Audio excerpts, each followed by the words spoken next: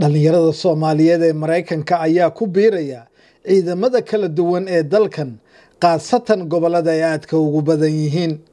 Xalay waxaa ka qalinjabiyey tababarkii ciidanka oo la dhaariyey axmed ismaaciil cawl oo ka mid ah dhalinta minnesota ku barbaartay wuxuuna ka mid noqonayaa ciidanka sharifka ee degmada henabin ciidankan ayaa u adeega dad gaaraya hal dhibic saddex milyan oo degan degmada henabin ee gobolka minnesota.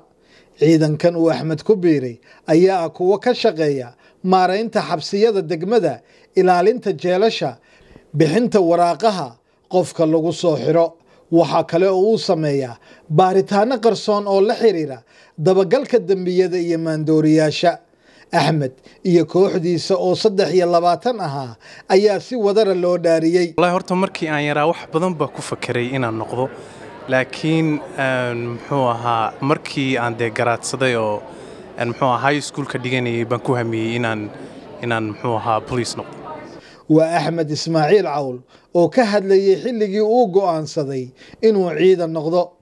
Waxaa kale oo axmed uu ii sheegay inuu jeclaa barashada nidaamka cadaaladdu ay u shaqayso taasina ay u xambaartay ka mid noqoshada ciidankan baaxadda leh ee shariifka wixiina uu arkay. Wallaahi ciidanka sharafka waxaan ugu biiray horta waxaan rabay inaan criminal justice systemka say u shaqayso iyo iyo xaggay ka bilowmato xaggay ku dhammaato waxaasoo dhan inaan barto baan rabay wallaahi muxuu aha hamigaygiina waa waa ii suurtagalay in badan. Hadda waxaa ka shaqeeyaa maxkamadda.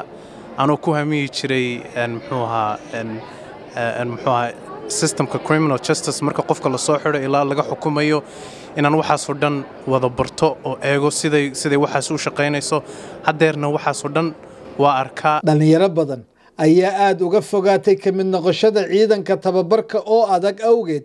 Axmed ayaan weydiiyey taas waxa uu uga gudbay.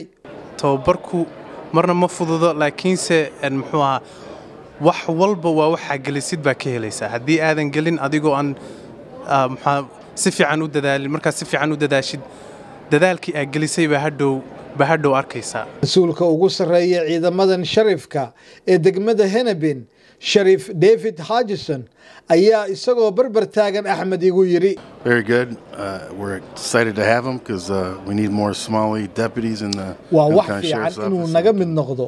Waxaan u baahannahay soomaali badan oo qaybta sharifka ka mid noqota si aan u caawinno jaaliyadda soomaaliyeed. Waan isbarannay axmed. Waa nin wanaagsan. Wuxuuna matali karaa dadka bariga afrika iyo soomaalida. Waxaa noo muhiima inaan dad wanaagsan helno fadlan soo codsada. We need more, so please apply.